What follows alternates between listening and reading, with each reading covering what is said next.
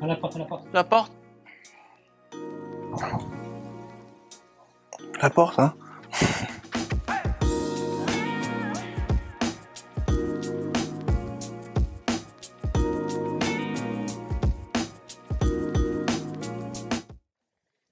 Nico Anelka, ex-joueur de football, commencé très tôt euh, à Trappes, Saint-Quentin Football Club, ensuite euh, UNF, Paris, et après j'ai fait un certain nombre de, de clubs euh, dans le football, donc euh, voilà, c'est comme ça que j'ai rencontré euh, Franck et, et qu'on a gardé une, une, une amitié depuis maintenant euh, 22, 23, 25, 23, ouais, ouais, 25 ans. 25 23. ans, ouais, 25 ans. Voilà. Franck Nataf, photographe depuis euh, 25 ans, presque 30 ans. Euh, photographe de presse, de, sport. Euh, j'ai commencé à 18 ans jusqu'à jusqu'à 40, puis après je suis passé à la caméra en réa. Bah, c'est fait en fait euh, sur le transfert de, de, de, Nico Arsenal, de Paris Arsenal. Euh, on est parti ensemble à, à Londres, on l'a accompagné euh, euh, bah, voilà, dans son transfert. Je faisais les photos pour le journal Le Parisien, donc on, on s'est on s'est vraiment rencontrés à ce moment-là. Je, je l'avais rencontré un petit peu avant, enfin, lui se rappelle pas parce que euh, était concentré sur son football et euh, on n'avait pas de contact euh, physique et on, on se parlait pas. Et c'est à l'entraînement où le Parisien m'a dit il y a le futur, le futur du football qui, qui s'entraîne avec les pros au PSG. On devait être en 1996 ou 95, je sais plus exactement.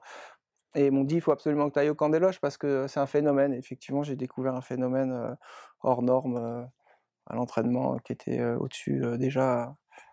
Voilà. On avait, euh, comme j'ai dit avant, on avait une amitié. Je sais que Franck, euh, euh, ça le tenait à cœur aussi de, faire euh, quelque chose avec, euh, avec moi, parce qu'on a, comme je dis, on a une très bonne euh, entente et euh, euh, la seule personne avec qui j'avais envie de le faire, enfin, j'avais envie, envie de faire la suite du, euh, de Inclassable 1, c'était lui parce que euh, pour moi c'est euh, c'est légitime que ce soit lui, s'il fait partie de la famille et, euh, et d'ouvrir mes portes, à, un étranger, je ne faisais pas. Et ça ne pouvait être que, que Franck. Donc on a eu euh, l'idée de, de faire la suite du, euh, du, euh, du 1, du Inclassable 1. Et c'est pour ça qu'après il m'a suivi un peu partout, après en, en- Chine, en Inde. Je, je lui ai donné l'occasion, en fait, de, je l'ai invité à- en Chine. Il est venu avec sa, avec sa caméra et, ses, et, ses, et, sa, et son, Et ouais, oui. son appareil photo.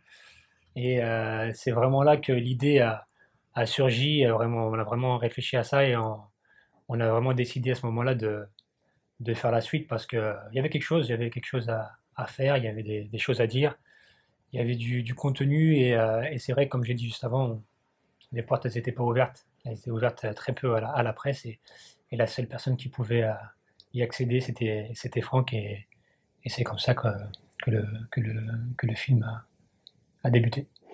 C'était euh, c'était important en fait de, de, de, montrer euh, de montrer Nico comme dans son quotidien et de montrer ce qu'il a fait et de montrer qui il est parce que euh, comme euh, comme dit euh, Titi dans le dans le dans la bande annonce il y a un monde entre ce que ce qu'est Nico et ce que pensent les gens de Nico. Il y a y a vraiment un monde. Et c'était important de montrer de, de, faire un documentaire sur sa vie de, de- raconter sa vie d'avoir son ressenti sur les choses parce que c'est quelqu'un qui parle pas beaucoup.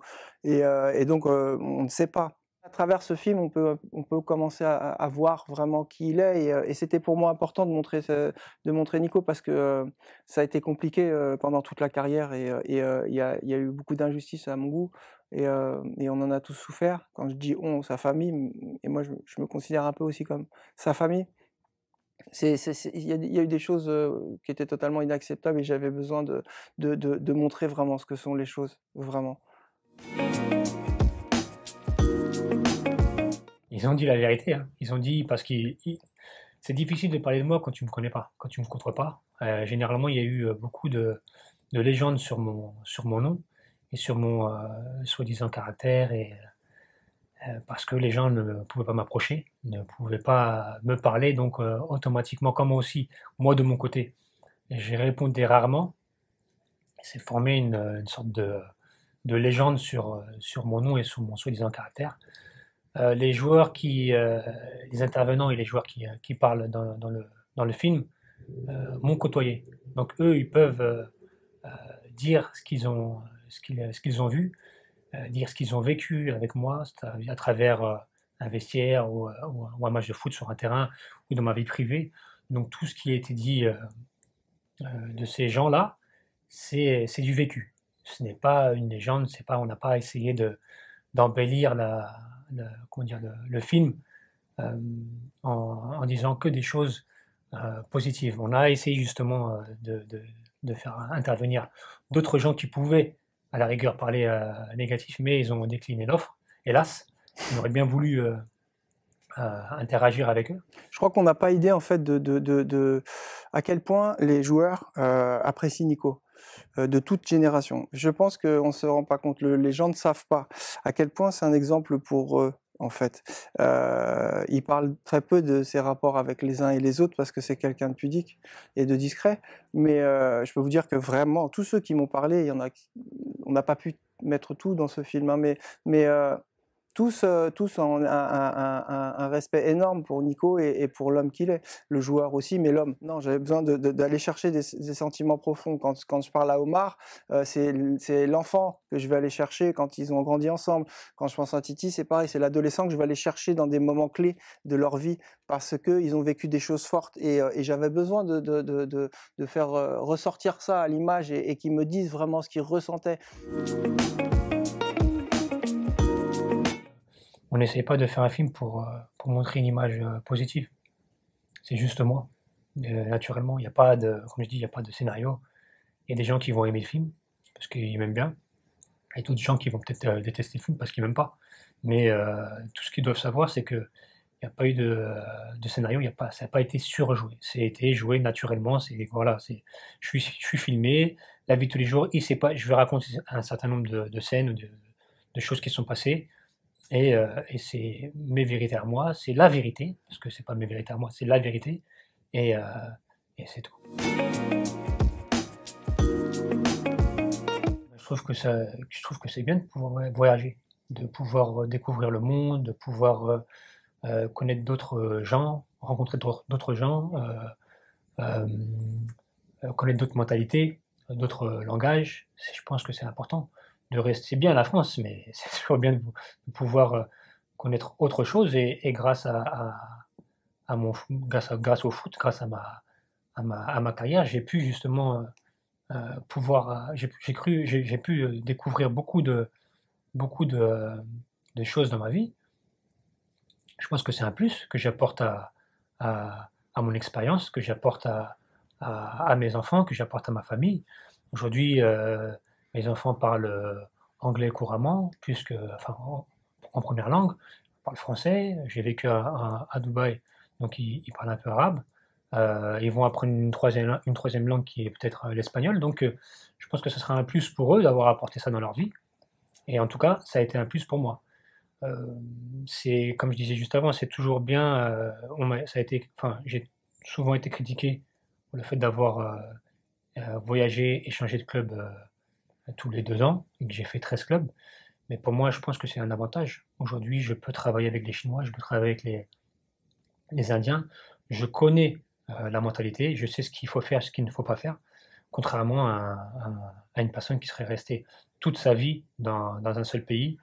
Euh, pouvoir essayer de, dialoguer et même euh, de pouvoir travailler avec une mentalité qui est différente, c'est toujours compliqué. Aujourd'hui, moi, sans être, euh, on dire, euh, arrogant ou euh, sans, me la raconter, je peux aujourd'hui dire que j'ai des facilités à pouvoir déjà parler aux, jeunes d'ici, de, France, parce que j'ai une certaine mentalité qui est différente, de pouvoir travailler avec des personnes à l'étranger. Et ça, ça, encore une fois, je pense que c'est un plus de ma vie. Je me suis consacré ces trois ou quatre dernières années à, la vie euh, euh, familiale, la vie avec, euh, mes, enfants, avec, ma femme. Et très prochainement, j'espère passer les, les diplômes d'entraîneur, puisque après un, time off de, 3-4 ans sans football, il est temps de revenir et de, se reconsacrer, de tourner une autre page, la page du coaching aujourd'hui, et de revenir au, niveau, au niveau football et, et, pourquoi pas devenir entraîneur. Après, comme j'ai dit tout à l'heure, les opportunités, on verra ce qui, ce qui va arriver.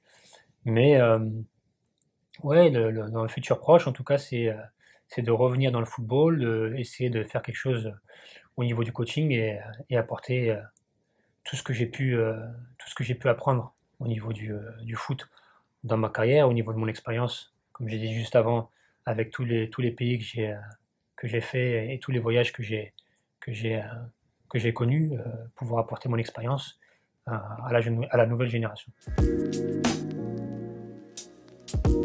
Plan de, de, Nico euh, dans le film, dans le désert, on avait besoin de, filmer dans le désert, donc euh, ça faisait deux ans que j'essayais de l'amener dans le désert à un endroit bien précis. C'était très compliqué pour les timings, les emplois du temps, le temps, d'aller dans le désert. Donc on est parti dans le désert. On a enfin trouvé cet endroit et, euh, et donc on est en repérage. Je suis en repérage avec l'équipe de tournage la veille, quoi. Et, euh, dans le désert, euh, ben voilà, c'est le, beau temps et tout ça. À part que la seule fois où je vais dans le désert, il pleut.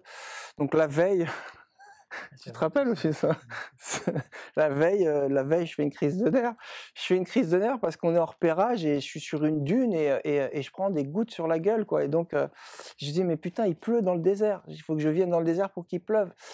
Et donc je l'appelle celui-ci et puis euh, et puis lui bah, il rigolait évidemment et, il me disait c'est pas possible quoi, c'est pas possible il pleut. Et donc le lendemain il a pas plu et on a fait les plans euh, des plans exceptionnels donc voilà c'était euh, mais il y en a plein des comme ça c'est vraiment plein. Il y, a, il y a 7 ans de 7 ans de Pierre Richard. Voilà. On a hâte de voir ça merci messieurs. Merci. À toi.